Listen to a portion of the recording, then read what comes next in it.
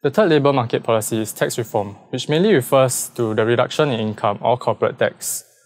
With a lower income tax, working becomes more attractive since the rewards are higher.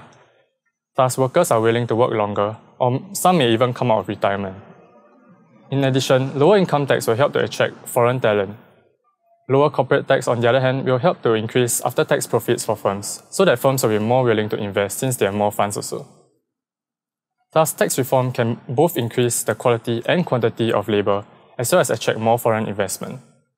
Singapore's uh, corporate tax rate of 17%, 17% sorry, is one of the lowest in the world, although other factors such as a stable political environment will help to attract investment as well.